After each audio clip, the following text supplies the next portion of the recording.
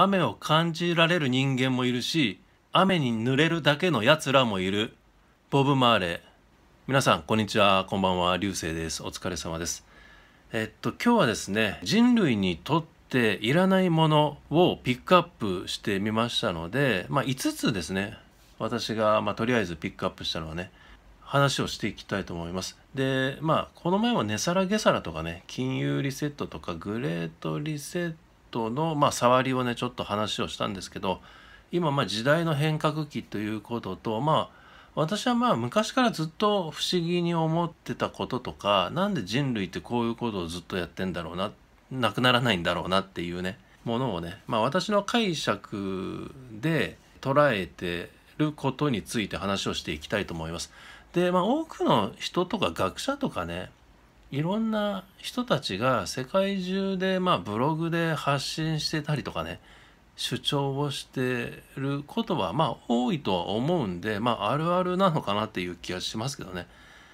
まあ、5つちょっと話をしていきたいと思いますね。でまず1つ目がテレビですね。でテレビも変更報道とかね嘘偽りをね言わなきゃいいんですけどね言わなきゃまあ無料の放送媒体なんで便利重宝する場合も昔はあったんですけどね今はまあほとんどちょっとまああんまり詳しいこと言うとやばいんで言いませんけども変更報道を結構してるんじゃないかっていうことがよく叫ばれてますよね。でテレビっていうのはマスメディアの中のまあ一つなんですけどまあ私もマスメディアの特徴について話をしたことを以前動画で上げさせてもらったことあるんですけどテレビっていうのはまテレビジョンでいろんな情報を大衆マスが大衆でメディアが情報媒体っていう意味なんですけどね電波を通じていろんな情報を発信するんですけどやっぱり問題点があってテレビっていうのは無料ですよね。有料放送もまああるんですけどあと NHK とかはまあ有料なんですけど国民が要は見たい人がお金を払って国民の負担で運営する公共放送っていうのがまあ理想的なんですけど問題点としてはテレビっていうのはスポンサーがついてるってことですよね。やっぱりスポンサー投資家資本家がお金を電通博報堂みたいな代理店テレビ局に払ってでテレビ局はそのお金でプロデューサーとかディレクターとかにもまあお金を払っていろんなコマーシャルとか番組作りを任せてるわけですよね。で巨額なお金が動いてるんですよね。なので正しい情報もあるんですけどやっぱりそうでない情報とかあとスポンサー寄りな考え方とかね思考とか方向性がそちら側に行った番組作りに基本的になっていることが多いと思うんですよね。だから正しい情報もあるんですけど間違った方向に行くとちょっとやばいんじゃないかなっていうところとまあ私たちみたいにね俯瞰して物事を見てこれはおかしいんじゃないかなっていう疑いの目をね持たない人が危ないと思うんですよねだからそういう人が今多いんじゃないですかねまだね若い層はそうでもないと思うんですけどやっぱり中高年から上の人たちの世代はやっぱりテレビ全盛期時代を生きた人間人たちが多いので鵜呑みにしてらっしゃる方も結構多くいらっしゃるんじゃないかなっていうことで非常にね危険だなと思いますね今みたいな社会になってしまうっていうことでテレビっていうものを挙げましたね。NHK は一応受信料を払うシステムではあるんですけど、まあ、国の税金で成り立ってる部分もあるので、まあ、国営テレビというか公共放送なんですよね。だけどまあやってることは民放放送とあんまり変わってないような気がしますけどね。だから私はテレビはもう一切見なくなってますね。で子供の頃からやっぱ不思議だと思ってたんですよね。テレビってなんで無料で見れるの？みたいなね。映画とかいろんな他のメディアは有料なんですけどテレビだけは、まあ、テレビ自体の枠はねお金がかかるんですけどあとアンテナ線をつなげばタダで見れるっていうタダほど怖いものはないっていうね感じで子供の頃から不思議に思ってたんですけどねやっぱりそういう提供をするスポンサー大企業資本家たちがまあバックにはいるっていうことですよね。そこに何かがあるってことですよね。その裏側は私も詳しくはここでは言えませんけどいろいろなことがコントロールされてるんじゃないかっていう感じで思考とか方向性とかね考え方があって意図的に番組作りをされてるあるいは無意識なうちにそういった方向性に導かれていってるんじゃないかなと思うんですよね。制作側ねディレクターとかプロデューサーとかね。その証拠にまあ放送コードっていうのもありますしね。やっぱり放送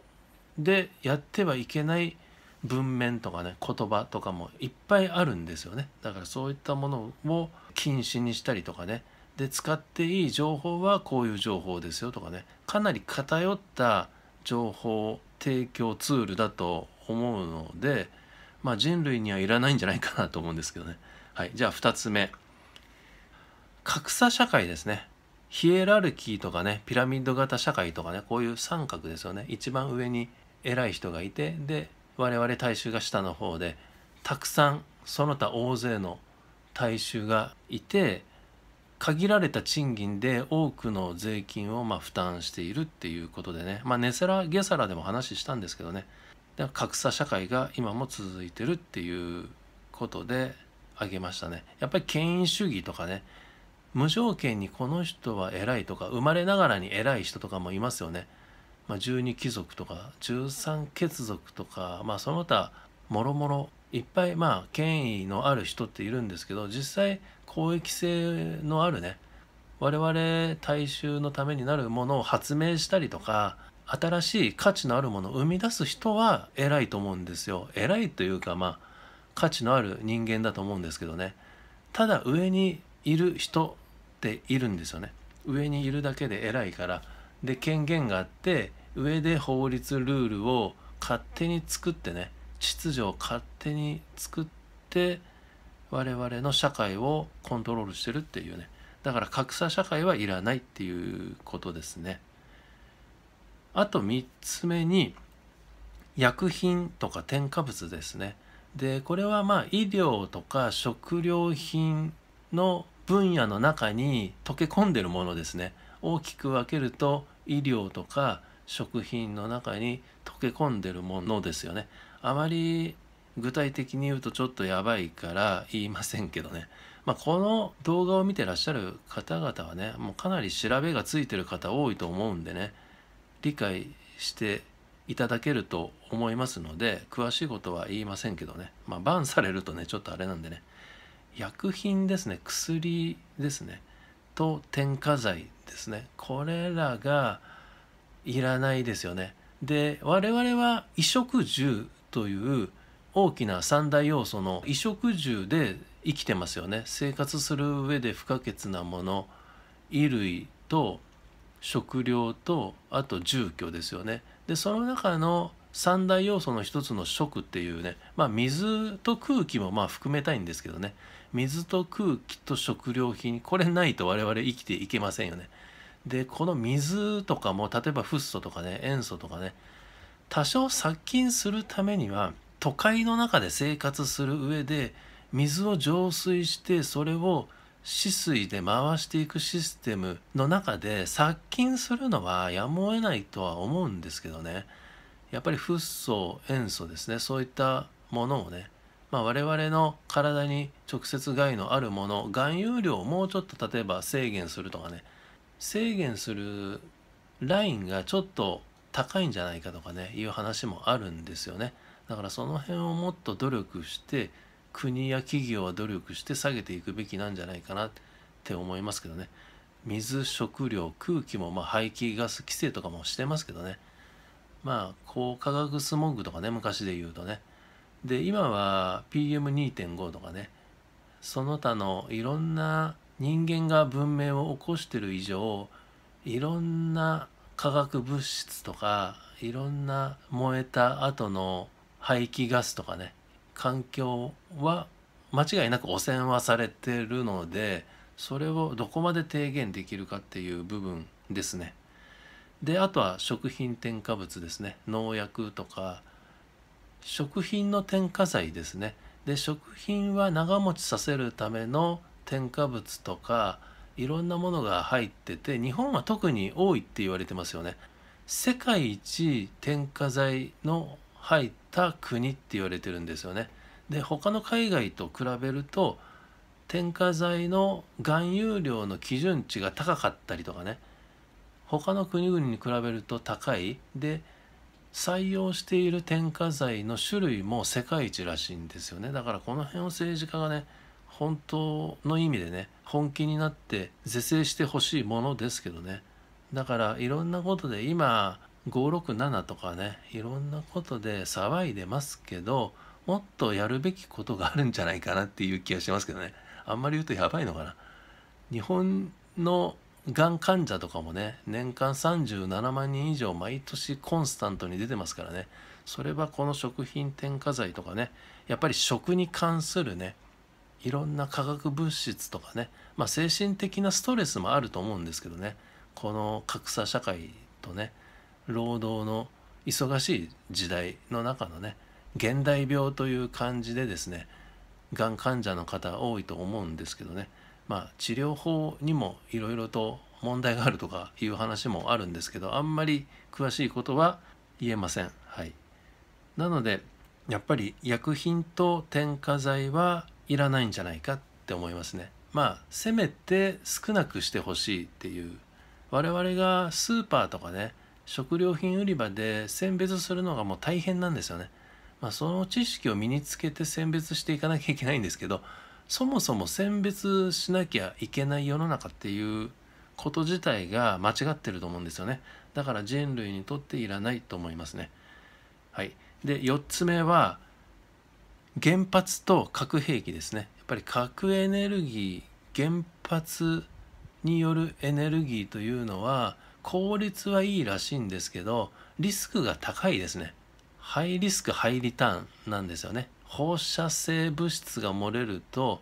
我々の健康を害しますしね。放射性物質放射能は我々の体の中を通って遺伝子を破壊するって言われてるんですよね。だから奇形児が生まれたりとかねがんになったりとかしていくんですよね。で放射能漏れが起きると度合いにもよりますけど例えば福島原発クラスの放射能漏れですとね半径20キロ以内で50年以上住めないとかね放射能が漏れるってことはそこに人が住めないってことなんですよね。そこに人が住めないってことはインフラがほぼほぼゼロになるってことじゃないですか。ほぼほぼゼロになるってことはその国土を失うのと同じなんですよ。その敷地面積分日本国の領土がなくなるのと同じなんですよ。だってそこに誰も住めないじゃないですか。そこに住んで農作物も作れないしビルも建てて仕事もできないし産業も起こせないですよ。20キロ四方とかね50キロ四方とかねその放射能が漏れる具合にもよるんですけど人が住めないのでいまだに福島の一部はそうでしょ。人が住めない。人がものづくりができない。野菜農作物も作れないとかね魚も取れないとかね。そこの部分だけ日本国じゃないのと同じなんですよ。日本国の領土がゼロになるのと同じなんですよ。その部分だけね。だから原発はいらないと思います。フリーエネルギーを解放して開示すべきだと思いますね。核兵器もいらないですよね。ということで人類にとっていらないもの。だと思います。で最後に5つ目に戦争ですね。まあ、戦争は徐々になくなっていくだろうという専門家とか学者たちがよく叫ばれてますけどね今は情報戦争とかねいろんな他の目に見えないようなねものでサイバー攻撃とかね経済を破綻させて人々を苦しめるっていう戦争手法が変わってきてるんですけどまあ、20世紀型の爆弾ミサイルとかね戦車とかね今もあるんですけどね飛行機爆撃機で爆弾落として破壊するとかねそういった戦争がいらないと思います。人類にとっていらない。戦争はいらない。まあ右翼左翼とかまあ別としてねよく言われるんですけど右翼とか左翼とかまあ大衆をね混乱させるためにできた概念だと思うんですけどあんまり言うとちょっとやばいのかな。意図的なものを感じますけどね。右も左も関係ないですよ。うん、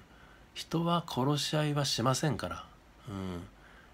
地球上の生命として生まれてきた我々もやっぱり殺し合わないですよ。普通、うん、そういう遺伝子もないしね。そういう考え方は本当はなかったんですよね。もちろん奪い合いとかね文明がやっぱりできた以上奪い合いっていうものはあるんですけどね戦争っていうものはね本当にね必要はないと思いますね破壊をしても何も得することはないんですよねある一定の人だけが得をするっていうことなのでさっき言ったヒエラルキーとかね格差社会にもつながりますけどね戦争は一部の特定の人だけが潤うものなんですよね。で99%の我々国民大衆には全く何のメリットもないデメリットでしかないというものでしかないと思いますね。まあこれは当たり前のことを言ってしまってるんですけどね。っていう感じですね。他にもまあいっぱい細かいことでいらないものってあるんですけどねまた気づいたらね動画でアップしていきたいと思いますのでこれぐらいにして終わりたいと思いますご視聴ありがとうございましたチャンネル登録よろしくお願いしますバイバーイ